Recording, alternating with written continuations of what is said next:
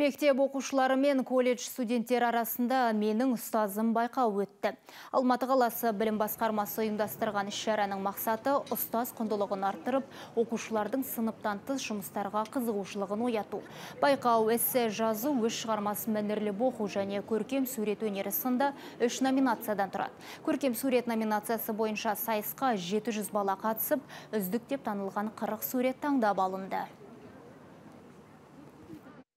Қырық оқушыны бірінші аудандық аудан саласында өтті осы жарыс.